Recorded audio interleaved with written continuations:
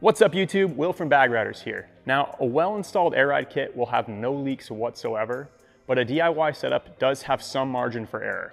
You could have a management leak or a suspension leak. Here's how to know what we're dealing with.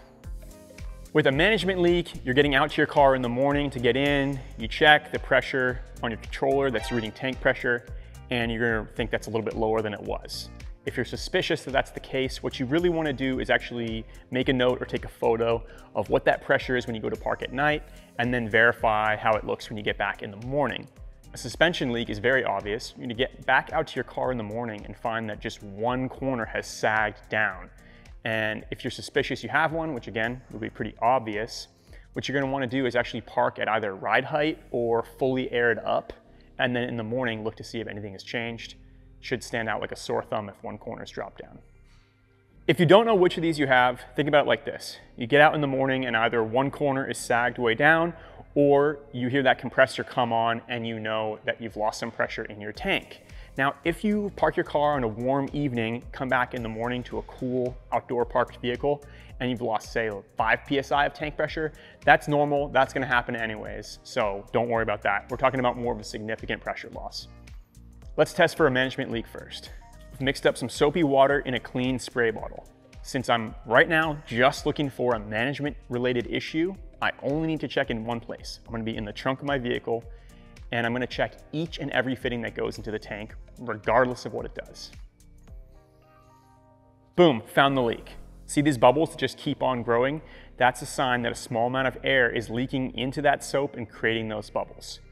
Another thing to note is if you have a tank drain kit, which you definitely should, and you have a Schrader valve at the end of that, sometimes debris can get caught in that Schrader valve while you're draining, and that can create a slow leak there. So again, you're testing each and every fitting.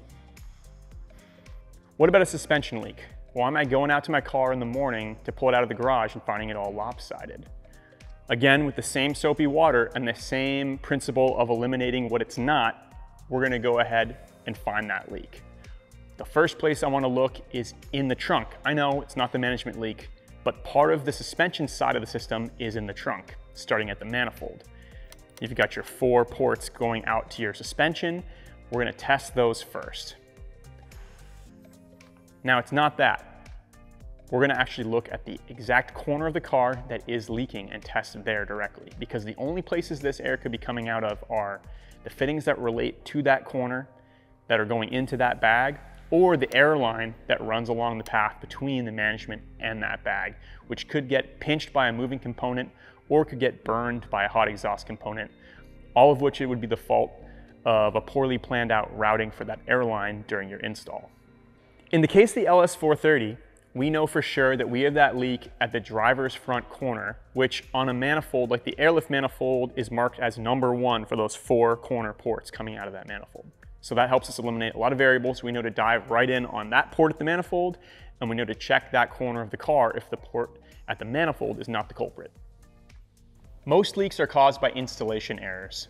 We have no leader line for this installation, so let's check here at the PTC fitting. If it's not there, we know this airline has to run from the front of the car all the way to the back.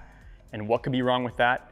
Well, the airline, due to poor routing, could potentially come into contact with something hot like the exhaust or a moving component that would pinch it. Boom, we got it.